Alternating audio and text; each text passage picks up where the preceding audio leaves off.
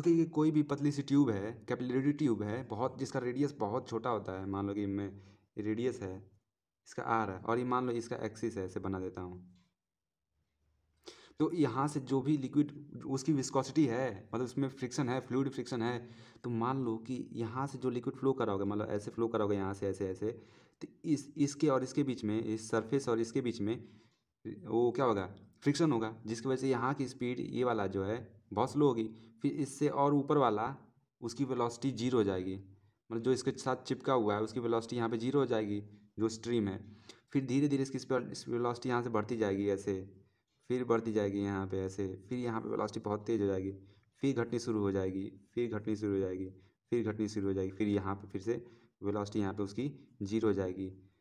तो यहाँ पे कोई भी, मान लेता हूँ कि कोई भी यहाँ पे जो भी है यहाँ पे हर पॉइंट में ये क्रॉस सेक्शन की बात कर रहा हूँ, यहाँ पे जो क्रॉस सेक्शन है, काट के देखते हैं ट्यूब को तो यहाँ पे हर पॉइंट पे जो प्रेशर है, वो सेम होता है। अब सोच के देखो, ये पोस्टली इक्वेशन बताता क्या है कि पोर्शली इक्वेशन बताता है कि रेट ऑफ़ फ्लो मतलब वॉल्यूम कितना निकलता है rate of flow of water या कोई भी लिक्विड जो विस्कस लिक्विड है फ्लो करता है, कितने रेट से उसकी वॉल्यूम निकलती है बाहर। तो कैसे कैसे निकलता होगा, सोच के देखो। ये मूव क्यों कर रहा होगा? मूव इस वजह से कर रहा होगा क्योंकि इसके बीच में प्रेशर डिफरेंस है प्रेशर ग्रेडियंट है। मतलब प्रेशर ग्रेडियंट मतलब कि यहाँ से मतलब जैसे जैसे इधर जाते जाते हैं प्रेशर बदलता रहता है। मतलब बदलता है, घटता है, बढ़ता रहता है, इस तरह से कुछ, ठीक है? घटता बढ़ता रहता है। अब मान लो कि प्रेशर यहाँ पे, इस पॉइंट पे और इस पॉइंट पे इतनी छोटी सी डिस्टेंस में प्रेशर का डिफरेंस बहुत ज़्यादा हो, यहाँ पे प्रेशर का डिफरेंस बहुत ज़्यादा हो, छोटी सी लेंथ में तो सोचो कि ये बहुत तेज़ नहीं मूव करेगा, ये जो लिक्विड है यहाँ से तेज़ नहीं मूव करेगा, इसका मतलब कि कुछ रिलेशन तो है प्रेशर ग्रेडियंट का, कि बहुत तेज़ी से निकल जाता है। यानी कि प्रेशर ग्रेडियंट जितना ज़्यादा रहेगा, उतना तेज़ निकलेगा। यानी कि लेंथ जितनी छोटी रहेगी, उतना तेज़ निकलेगा। प्रेशर का डिफरेंस जितना ज़्यादा होगा, उतना तेज़ बाहर निकलेगा। समझ में आ रहा है? फिर उसके बाद देखो विस्कोसिटी यहाँ पे विस्कोसिटी अगर देखो जितना कम रहेगा, उतना तेज से ये नहीं मूव कराएगा बीच वाला। या जो बीच वाला वाटर है, बहुत तेज नहीं मूव कर पाएगा, जितना कम होता जाएगा, और ज़ीरो हो जाएगा तो और तेज मूव करने लगेगा। तो इसका मतलब बहुत तेज मूव करेगा, जब इसकी क्या बोलते हैं, इसका जो ईटा है, वो कम होगा विस्कोसिटी है, कम होगा। तो ठीक है, उसका भी कोई रिलेशन है, यानी कि रिलेशन तो मुझे पता चल गया कि प्रेशर और ग्रेडियंट के बीच में प्रेशर ग्रेडियंट और ईटा के बीच में विस्कोसिटी के बीच में, और क्या हो सकता है, सोचो। देखो, जहाँ तक मुझे लगता है कि ये आर पे किस तरह से डिपेंड करता होगा, देखो, यहाँ पे ये वाटर है या कोई भी लिक्विड होगा, उसका सरफेस टेंशन तो होता ही ना है। तो इसके साथ जो कैपिलरी ट्यूब है, इसके साथ ये इसको ऊपर की तरफ़ खींचना चाहेगा कि नहीं? सरफेस टेंशन इसको ये जो लिक्विड का सरफेस टेंशन ऊपर की तरफ़ खींचना चाहेगा। तो ये भी अपना कुछ कॉन्ट्रीब्यूट कर रहा है ना? तो आर भी आर से भी डिपेंडेंट हो रहा है वो किसी न किसी तरीके से। क्योंकि ये आर बढ़ेगा तो सोच के देखो, कुछ तो फ़र्क पड़ेगा ना? तो इसका मतलब आर से भी डिपेंड कर सकता है। तो अब देखो, मेरे हिसाब से सरफेस टेंशन हो सकता है, लेकिन अब देखते हैं कैसे डिपेंड करता है। वो सब कुछ डायमेंशनल फार्मूला बता देगा कि कैसे कैसे डिपेंड कर रहा है वो। हम लोग पता कर लेंगे। तो देखो कैसे हम लोग करते हैं। देखो जब ये आर बढ़ रहा होगा तो ये जो पूरा ये भी बढ़ रहा होगा कि नहीं? ये जो एल बढ़ रहा होगा कि नहीं? ये जो लेंथ होती है सर्कमफरेंस ये भी बढ़ रहा होगा। इसका मतलब सरफेस टेंशन भी बढ़ रहा होगा। इसका मतलब आर जो है डायरेक्टली प्रोपोर्शनल हो सकता है। हो सकता है। चलो देखते हैं उसके बाद। तो इसका मतलब डायमेंशनल फार्मूला से मुझे क्या पता है कि किस पे किस पे डिपेंड कर रहा है? तो rate of flow of liquid किस पे किस पे डिपेंड कर रहा था उसमें? कैपिलरी ट्यूब में? वो प्रोपोर्शनल था। किसके?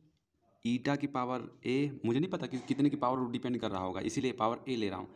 और आर की पावर बी और प्रेशर की, प्रेशर प्रेशर ग्रेडियंट की पावर सी, इस पर डिपेंड कर रहा था। तो मैं क्यू इक्वल टू लिख सकता हूँ ना? Q equal to proportionality sign हटाऊँगा तो कोई कांस्टेंट आएगा। तो वो कांस्टेंट को मैं मान रहा हूँ कि कोई डायमेंशन लेस क्वांटिटी है मतलब कि कोई नंबर जैसे वन टू थ्री फोर ऐसे कुछ नंबर है बस। तो के मान लेता हूँ। ईटा की पावर ए आर की पावर बी प्रेशर ग्रेडियंट की पावर सी तो अब क्यों? वॉल्यूम का क्या होता है? अब डायमेंशन डायमेंशनल फार्मूला क्या क्या कंपेयर करता है? वो यूनिट कंपेयर करता है कि दोनों की यूनिट सेम होनी चाहिए दोनों साइड ठीक है? तो वो पता चलेगा कि वो कितनी पावर होनी चाहिए, किस पे कितना, कितने पर डिपेंड कर रहा होगा। तभी तो यूनिट सेम होगी, देखो। तो वॉल्यूम क्या है? वॉल्यूम एक लेंथ की पावर थ्री होती है।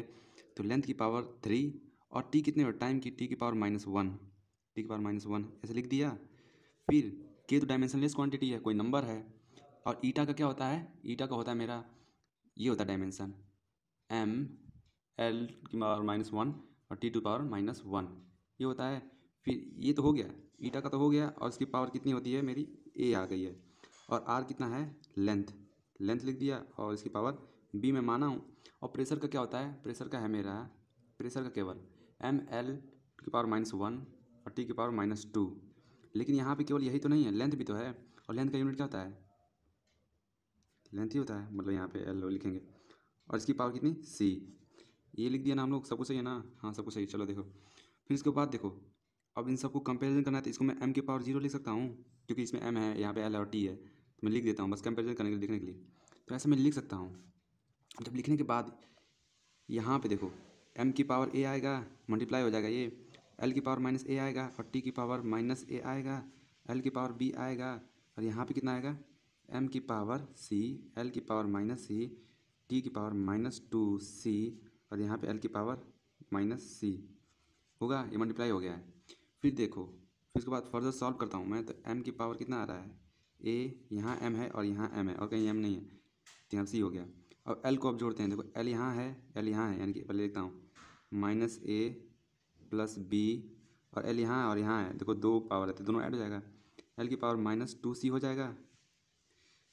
अब मैं इसको ऐसे लिख सकता हूँ ना प्लस करके। लिख दिया, फिर उसके बाद देखो क्या करना है। अब टी बचा टी की पावर कितना होता है? माइनस ए आ रहा है और माइनस टू सी आ रहा है। तो एम की पावर ज़ीरो एल की पावर थ्री और टी की पावर माइनस वन अब कंपेरिजन करता हूँ मैं कंपेरिजन तो एम की पावर ज़ीरो ये दोनों का पावर सेम होना चाहिए, क्योंकि बेस सेम है, तभी तो सेम होगा।